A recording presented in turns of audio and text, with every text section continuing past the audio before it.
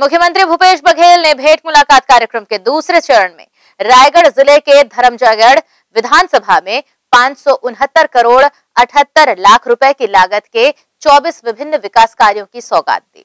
रहमजयगढ़ विधानसभा के ग्राम छाल में भेंट मुलाकात कार्यक्रम के दौरान स्वामी आत्मानंद स्कूल के बच्चों ने तख्ती पर थैंक यू सीएम सर लिखकर मुख्यमंत्री को धन्यवाद दिया। मुख्यमंत्री ने बच्चों की अंग्रेज़ी शिक्षा पर ध्यान दिया, गरीब बच्चों को मान दिया, जैसे नारे लिखे थे। धर्मजयगढ़ में विभिन्न समाज के अध्यक्ष व पदाधिकारियों सहित नगर पंचायत अध्यक्ष ने भेंट की।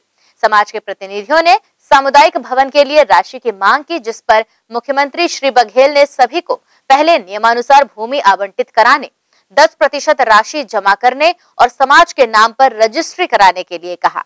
महाराज समाज और नगेशिया समाज ने जाति संबंधित मात्रात्मक त्रुटि के सुधार के लिए मुख्यमंत्री का आभार जताया।